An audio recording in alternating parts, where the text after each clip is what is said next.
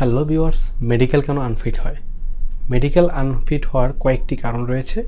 আমি আজকে কয়েকটি কারণ আলোচনা করব। প্রথমত আমি আপনাদেরকে বলে রাখি ফাইনালি মেডিকেল করার আগে আপনি আপনার এলাকার বড় কোনো ডায়াগনস্টিক সেন্টার বা হসপিটালে একটি প্রাথমিকভাবে মেডিকেল করে নেবেন। সেখানের রিপোর্ট অনুযায়ী আপনি ফাইনালি মেডিকেল করার জন্য আগাবেন। এটা একটা পরামর্শ। দ্বিতীয়ত হচ্ছে, আপনার কোনো সমস্যা আছে কিনা বড় ধরনের, সেটা আপনি ভালো বোঝেন বা জানেন। ঠিক আছে? সেটার উপর ডিপেন্ড করে ওই যে প্রাথমিক যে মেডিকেলটা আপনার এলাকাতে সেটা করে নেবেন। যদি সেটা ভালো হয়, তাহলে আপনি মূল মেডিকেলে যাবেন। তো ভিউয়ার্স আপনাদের সাথে আছি আমি শাকিল।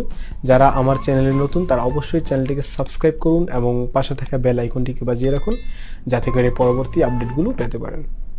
মেডিকেল আনফিট হওয়ার আরেকটি কারণ হচ্ছে অনেকে জানে যে আমার এই সমস্যা আছে, বই সমস্যা আছে, একটি সমস্যা বা রোগ আছে।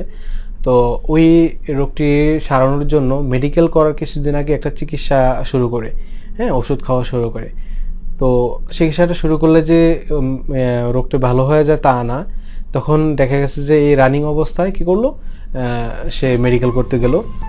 মেডিকেল তখন আরও ওই রোগটি বেশি ধরা পড়ে। তখন মেডিকেল ঠিকই আনফিট আসে। ঠিক আছে? এই ভুলটি করবেন না। আপনাকে চিকিৎসা করতে হলে অন্তত কয়েক মাস আগে চিকিৎসা করবেন। অন্তত একটি রোগ সারতে হলে কয়েক মাসের সময় লাগে। ঠিক আছে?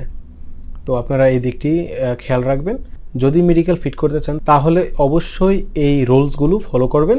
তাহলে ইনশাল্লাহ আপনাদের মেডিকেল ফিট আসার সম্ভাবনা বেশি থাকবে।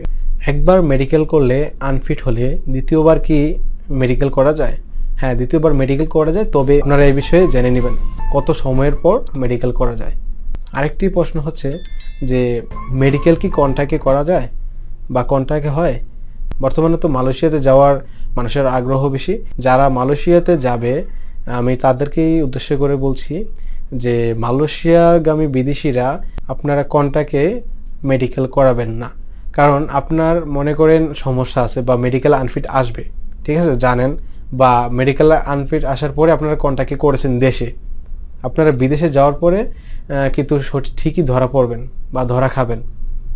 কারণ মালয়েশিয়াতে যাওয়ার পর কিন্তু আবার মেডিকেল করা হয়। ঠিক আছে? তো কন্ট্যাক্ট থেকে বেঁচে থাকুন।